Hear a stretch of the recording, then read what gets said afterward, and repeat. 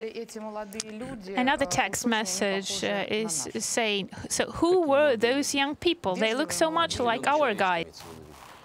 Those polite uh, young gentlemen you mean are in green uniform? I already mentioned that, and I uh, mentioned that a few times before in publicly and in my conversations with my uh, foreign colleagues.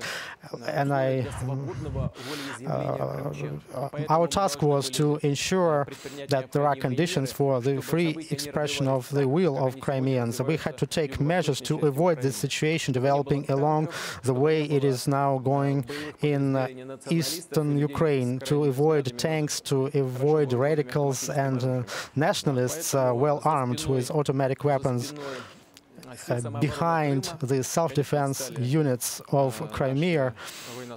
Of course, we had our servicemen. They were acting uh, very uh, correctly, but at the same time uh, decisively and professionally to conduct a referendum in an open way and help people to express their will.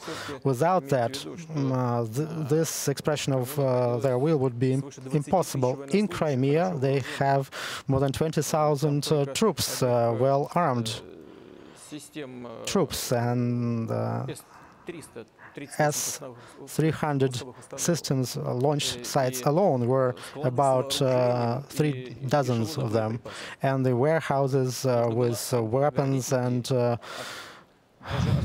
trains with uh, ammunition. So we had to protect the civilian population from even a slightest opportunity for those uh, weapons to be used against them.